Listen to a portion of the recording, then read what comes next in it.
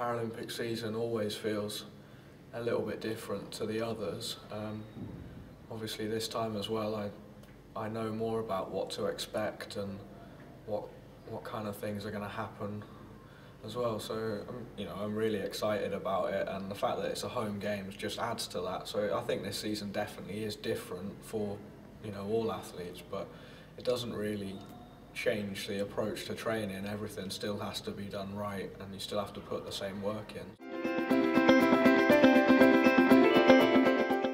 The 400 freestyle is the one event that I train for. Um, pretty much everything I do in training is based around the 400 free, and the other events are just kind of fun events that, because I've got the fitness from the 400, I can compete in those as well.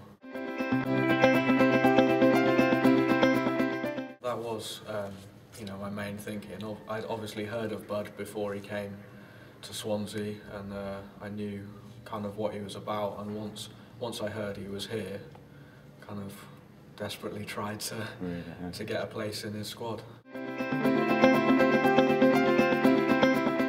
Yeah, definitely. I mean, myself and Jazz train train together all the time. Tom often does some some different sets because he does swim a bit quite a bit further than us. But yeah, um, it's really good working with with those kind of people. Yeah, it's nice to you know kind of still be able to do it. I mean, sometimes with me being one of the higher classes, especially in the 400 in this country, there isn't really that many people who I can race against. So it's nice to be able to go to an AB competition and you know, I might be at the slower end of that meet, but at the same time, there's always somebody who I can chase down.